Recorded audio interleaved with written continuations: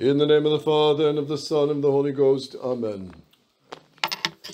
Today is the feast of St. Eusebius of Vercelli in Italy, and bishop and martyr. It's supposed to be red vestments, but the rose vestments are for tomorrow, for Gaudete Sunday. But I can only bring one set in the Mass kit, so here it is. Also, this is the, we're coming into the last week before Christmas. And next week will be the Ember Days, Ember Wednesday, which is a day of partial abstinence and fast, Friday and Saturday. And Saturday is also the fast for Christmas Eve. So let's be generous with God in these Ember Days coming up to do penance for our sins and to make reparation to the heart of Jesus and Mary. Let's look at the life of St. Eusebius. He's, he's in the late 300s, early 400s, so it's the time of St. Athanasius. It's the time of the Council of Nicaea. And it's shortly after Constantine passed the Edict of Milan in the year 313, which was a glorious thing, which recognized Christianity, the Catholic Church, officially at the political level. And it also, shortly after that, and by the year 401, was the end of all the gladiatorial games. And this was just a practice for the Romans. But it was, it took a saint to come out from the desert I forget his name. It's a pretty long, complicated name, but he was a very simple saint for such a big name. And he walked out in the middle of the Colosseum when all the crowds were there and the gladiators were ready to shed blood. And he, he, he told the emperor, put an end to this bloodshed. This is displeasing to God. And of course, they laughed at him, and I, I think he was even killed or imprisoned. But that was the last of it. After that, there was no more gladiatorial games. So Rome took a big change, and it was the Catholic faith that converted Rome with the martyrdom of St. Peter, our first pope, and then all the tons of martyrs, up to 11 million martyrs, says St. Alphonsus. So it's in this, after this time, you would think 10 waves of persecution. Since Christ founded his Catholic Church, the apostles were all put to death, and some of them extremely brutally and cruelly, such as St. Bartholomew being skinned slowly alive. And then the 10 waves of persecution from the Roman emperors.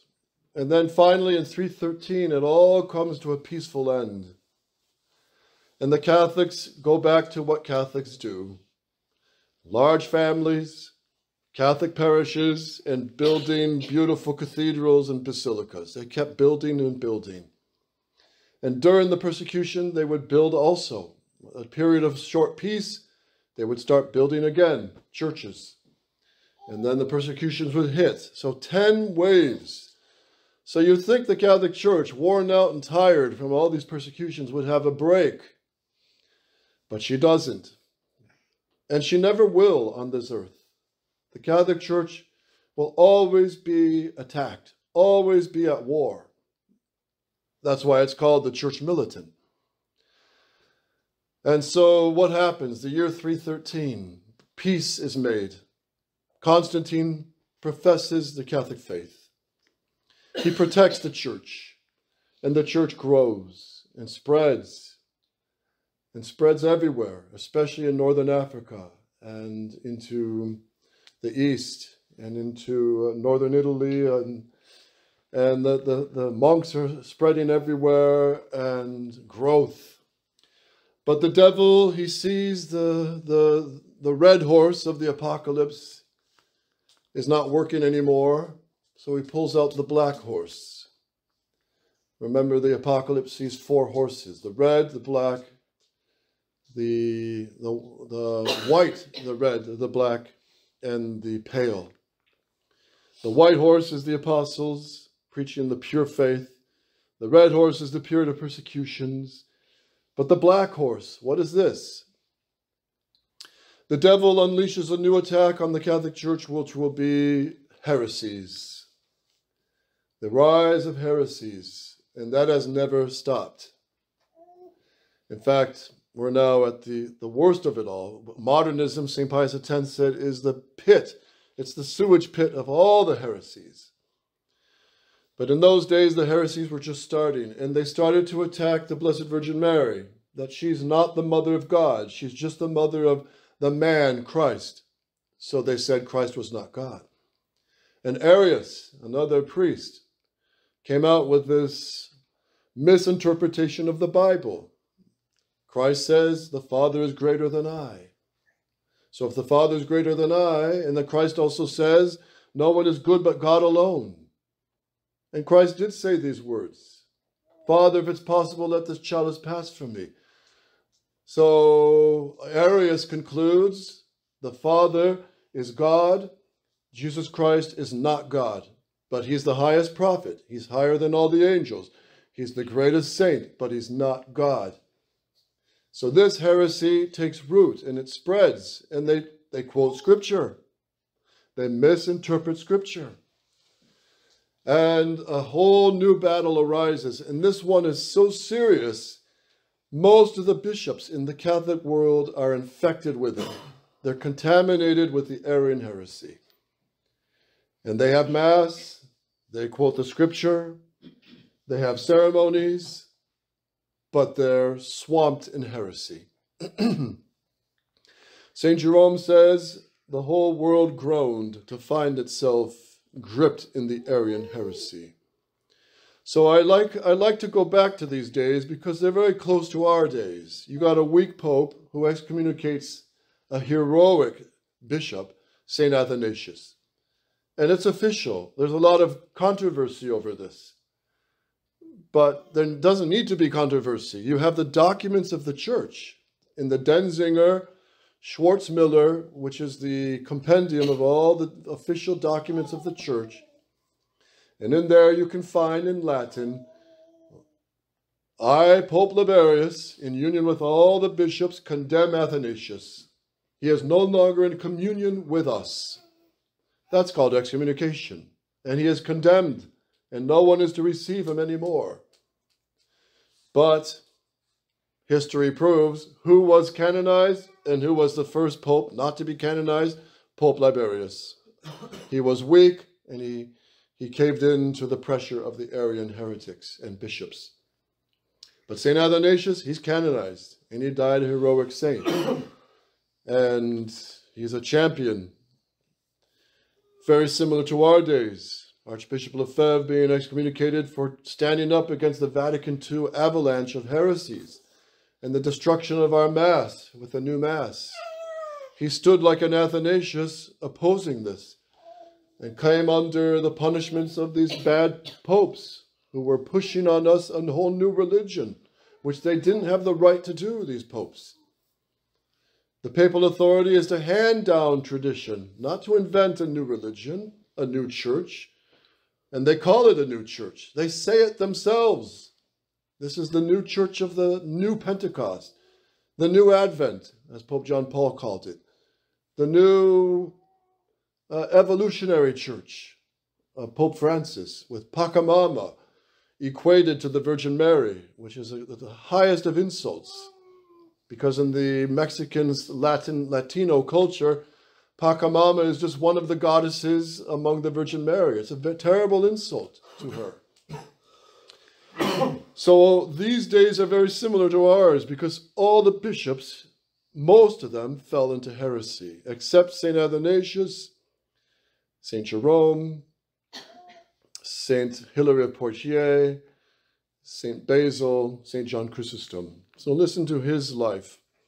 Saint Eusebius, by birth a Sardinian, a lector in the city of Rome, was afterwards Bishop of Vercelli, for the ruling of which church it is worthy of belief that he was chosen by the divine judgment for the appointed electors had never known of him before, but passed over their fellow citizens and chose him as soon as they saw him, and he merely had to be present when he was chosen as soon as he was seen to be bishop.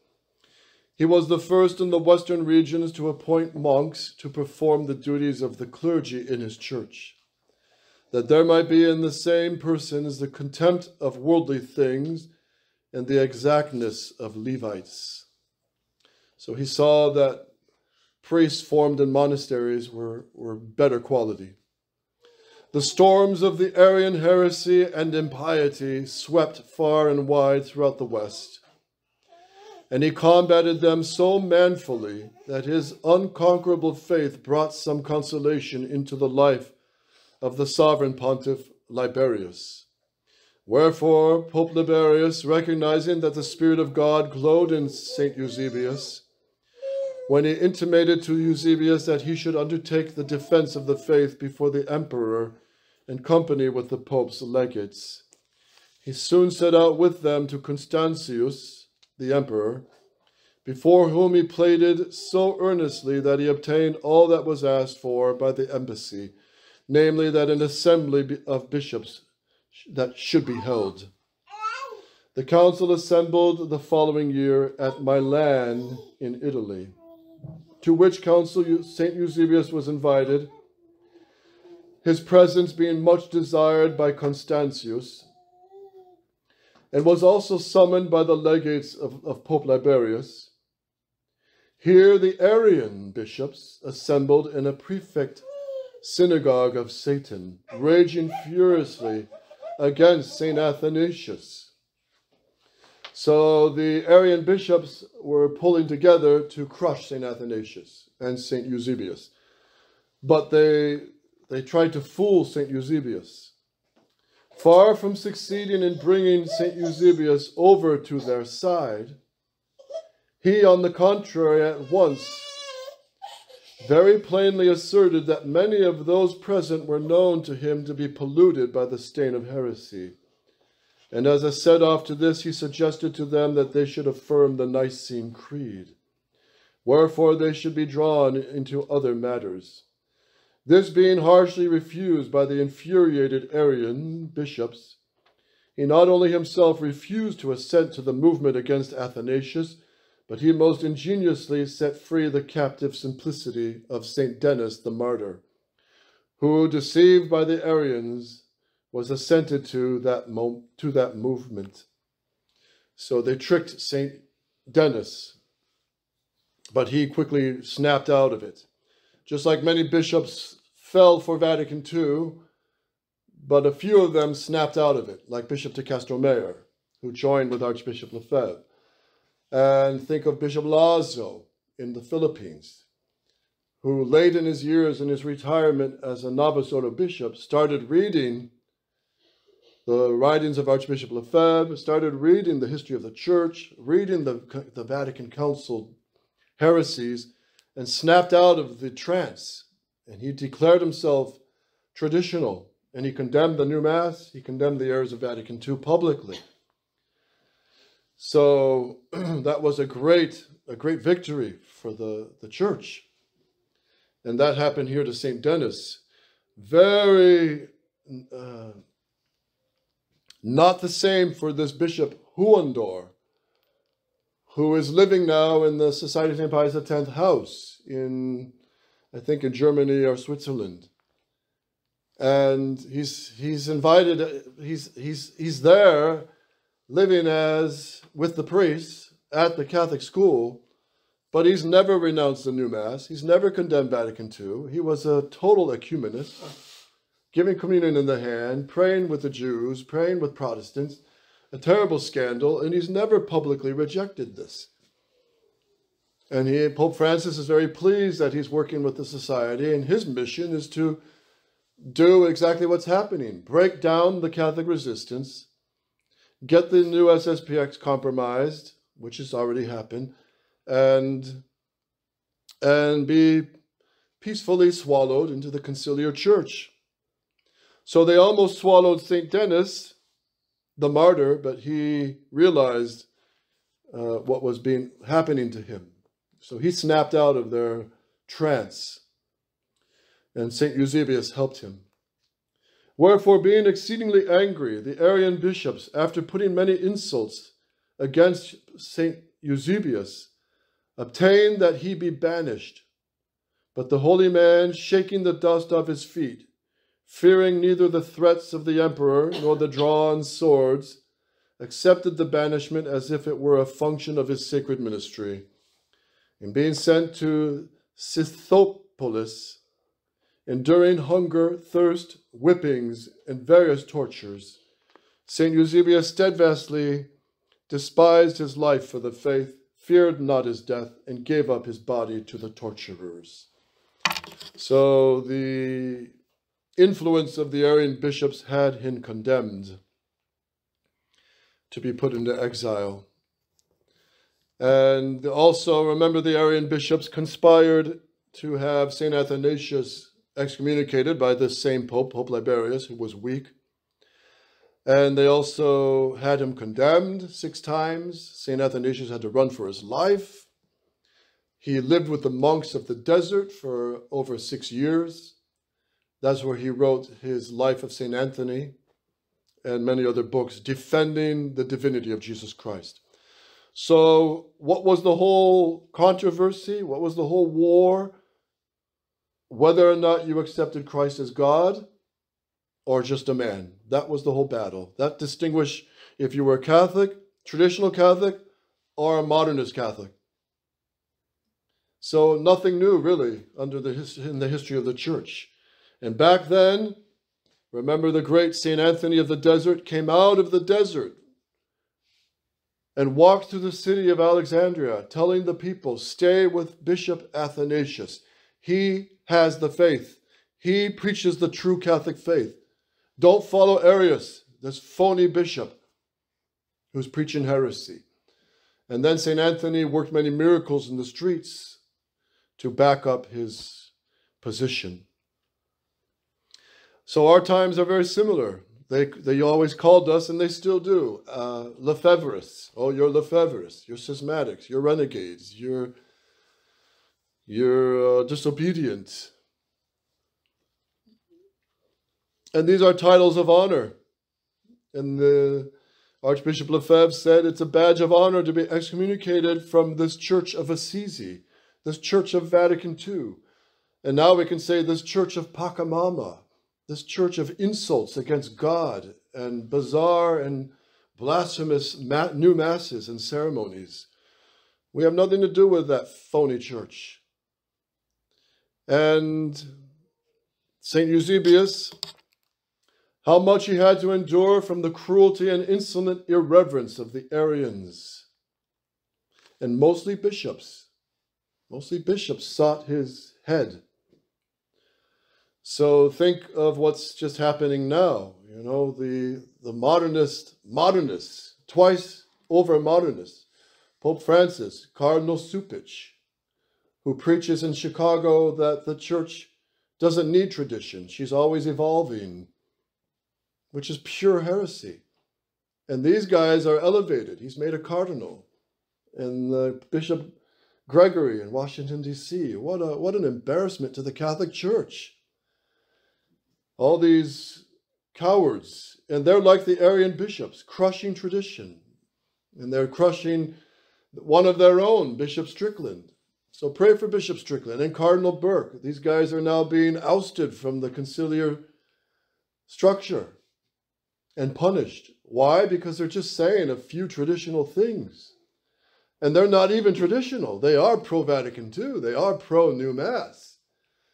So we got to pray for them because they, like many bishops in this time, snapped out of the, the trance. And imagine if Bishop Strickland came out and got came out with like like another Archbishop Lefebvre. What a blessing that would be. And Cardinal Burke, if he came out condemning Vatican II and the heresies, condemning the new Mass.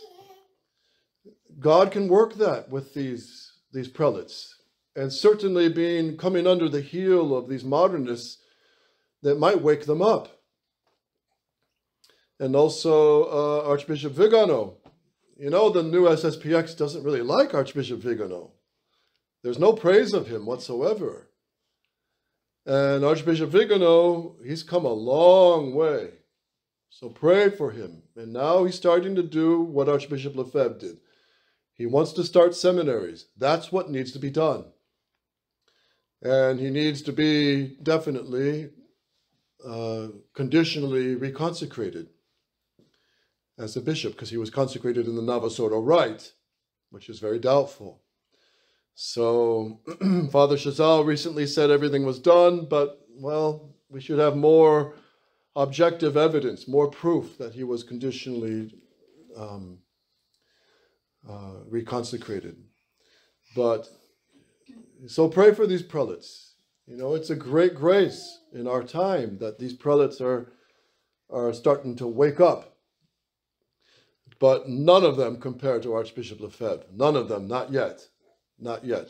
Archbishop Lefebvre, he was such a grace for the church because he not only preached against heresy and error, against Vatican II, and condemned the new Mass, but he took action.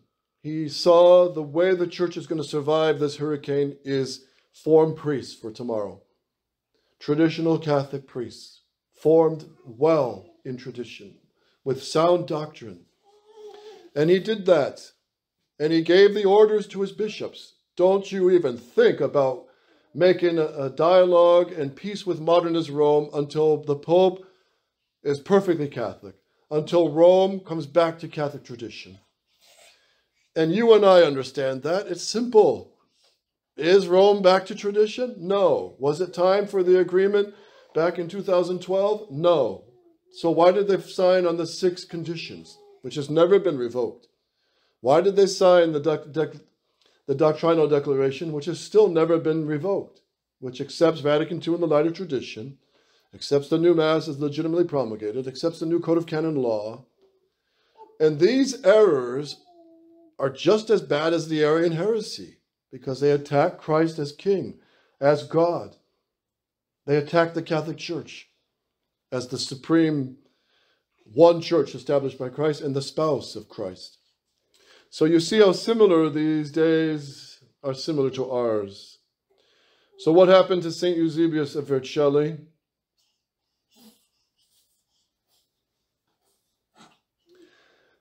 So he, he, he was exiled.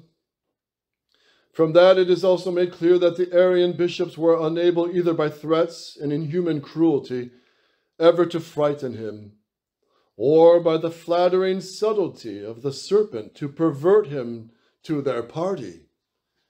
Look, we'll pull you out of this exile. Just sign this document. Just you don't even have to say you support the Arian heresy, just be silent against it. This was the little tricks they tried to play on him, and he wouldn't fall for it. And he told them, You're not going to silence me. You're not going to silence me. I'm going to continue to preach against your heresies. But they were able to do this with the new SSPX, with Bishop Fellay and the new leaders. Just accept the new Mass a little bit. Just say it's legitimately promulgated. That's all and silent. Tone it down against Pope Francis. Don't condemn Pachamama. Don't condemn his synod. And do you ever hear it condemned anymore by the society bishops? Silence. Absolute silence. Cowardly silence. Sinful silence. Because when bishops and priests are silent against heresy and errors, they are responsible for the murder of souls. It's a murderous silence and and then um, you know any dancing with the new mass is a scandal.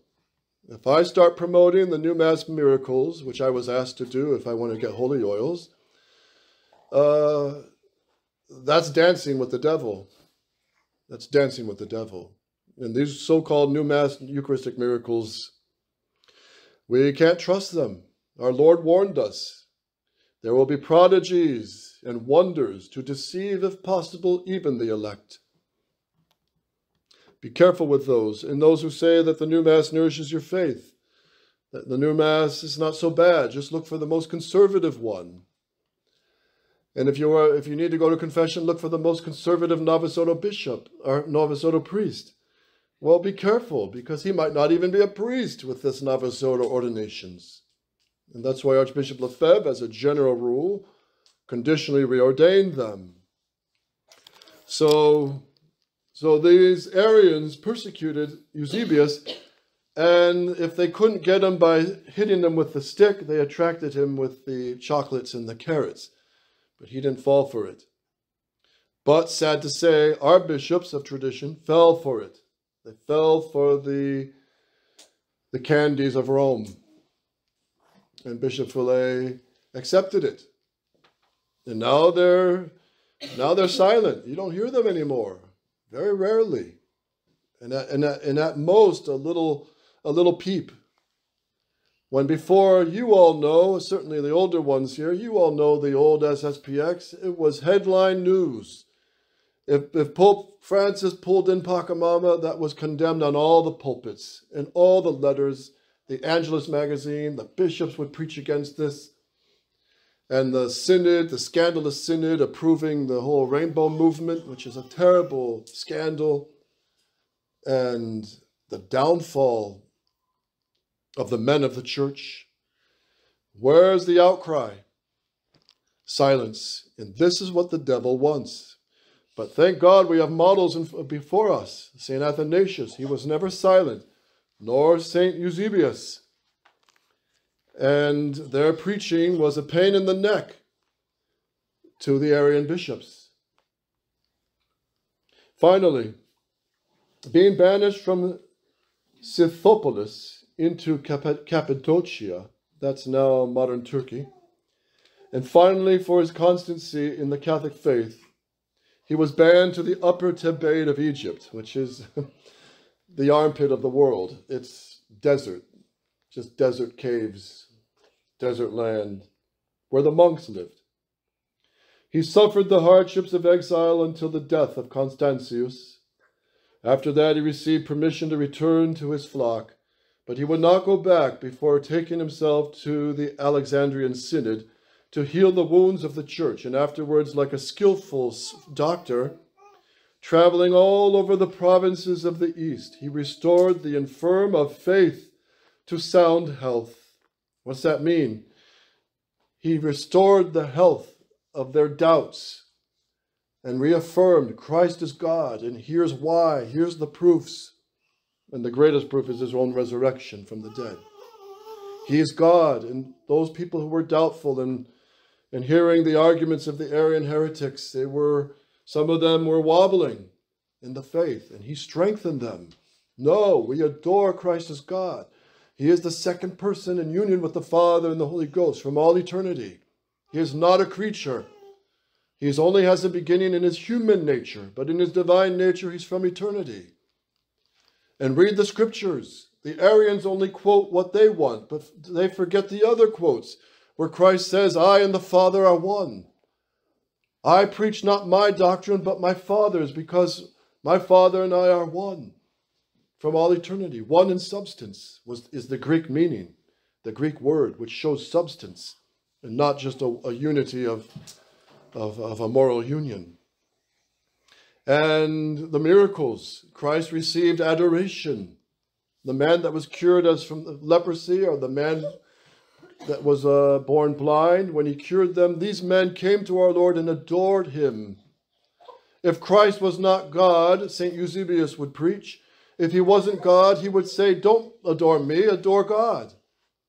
But because Christ was God, he accepted adoration because he's truly God. And he worked the miracles that only God can do. So he strengthened the faith just like Archbishop Lefebvre strengthened the faith of all the Catholics throughout the world. And he conditionally reconfirmed those confirmed in the Novus Ordo because he said these Novus Ordo oils are doubtful. These Novus Ordo sacraments are doubtful. Now the new SSPX says no problem, they're all valid. And that's simply not true. It's, it's bad theology. And they know that. The priests of our generation all know that. They know better. He established them firmly in the Catholic doctrine. Thence, With the same healthful results, he departed for Illyricum, which is in Greece, and at length reached Italy, which on his return put off put off her garments of mourning. There he later published Origen's commentaries on all the Psalms, which he himself had expurgated, and those of Eusebius of Caesarea, which he had translated from Greek into Latin. At last, eminently famous for so many deeds, in the reign of Valentinian and Valens, he set out from Vercelli for that unfading crown of glory which he had merited by so many hardships, and died a martyr. St. Eusebius of Vercelli. So these great champions in that period of the church, of the Arian heresy, they're, they're good examples for us. And our time is much worse because the heresy is worse. Modernism is, is widespread and it's everywhere. Even in traditional priests, many traditional priests who say the Latin Mass are infected with modernism. And how would you know? If any priest says, well, Adam and Eve, we can't be sure they really existed, or Noah's Ark was just a fairy tale and a myth, they're modernists. Don't, don't believe them. When they discredit the book of Genesis, especially, they're modernists. And one of the principal foundations of modernism, as St. Pius X said, is evolution. And they don't believe in the, the book of Genesis. Yet, how often Christ himself refers to Genesis. He refers to Lot, Sodom and Gomorrah. He refers to Adam. He refers to Noah. He refers to Jonah and the whale. He doesn't doubt these things. Christ himself shows the authority of, of what's written in the book of Genesis and the six days of creation. So, modernists they come in all shapes, sizes, and forms, just like liberalism. And let's be truthful all of us have grown up in this liberal, modernist age, this age of apostasy. We're all in some way infected with it. We really are. Even Archbishop Lefebvre, he said, when I entered the seminary in Rome, I believed in the separation of church and state. I thought it was a great thing. But that's a heresy condemned by the church. And he had to discover the true teaching of the church. So this was Archbishop Lefebvre as a man, a young man. So we're all infected and we have to wash, detox. We have to detox from all the poisonous chemtrails of heresies and modernism. And how do we do this? Firstly, prayer. Secondly, repentance for our sins and good confessions. Thirdly, we have to study. We have to study and know our catechism well. And read all of Archbishop Lefebvre's works. Read as much as you can. And this one is real steak and potatoes. Father Denis Fahey. Try to read him. Uh, he's tough and he's deep, but he's good. And certainly priests need to read him because he he, he, he's really good. And Archbishop Lefebvre praised his works, Father Denis Fahey, who tackles a lot of the modern problems and shows Freemasonry, Judaism are at the root of the infiltration inside the church. And then, of course, we have to read the papal encyclicals. And, and a glorious encyclical that's very easy to understand is Quas Primas of Pius XI on the social kingship of Jesus Christ. It's beautiful. It really is a banner of Catholic tradition. Read it and study it. It's not that difficult either. Pascendi is difficult of Pius X. That's a tough one, and you got to read it several times. But, but as you read it, you'll get more out of it. All the encyclicals of Pope Leo XIII are clear, sometimes very deep, but good and solid, very sound. And in, in those, he condemns separation of church and state. He condemns the liberty of the press, liberty of the speech, liberty of teaching what you want. He would certainly condemn liberty of the internet, the church in her normal. When we get a good pope, he's going to call for the censorship of the internet. He will call for that. and he has a duty to. The bishop should be demanding this, you know, but the internet is in the hands of the enemies of Jesus Christ, so they censor all the doctors and nurses that are saying some truth, and they're knocking them off of YouTube. I've, I have the honor of being kicked off, what, 10, 12 times by now? so it's an honor. But, uh, but all the filth, and especially pornography and false religions and even Satanism is promoted, that's not censored. None of that is censored, but the state should censor the real filth because it does harm to souls and it destroys innocence, destroys men, women, marriages. So that's what's beautiful about these days of St. Athanasius. Our times are very similar. So we got to detox from the modernism and above all, devotion to the Blessed Virgin Mary. She is so beautiful.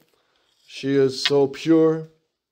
She is, there's no way we can praise her enough. There's no music that could be written to honor her enough. But I'm sure our Lord arranges that in heaven.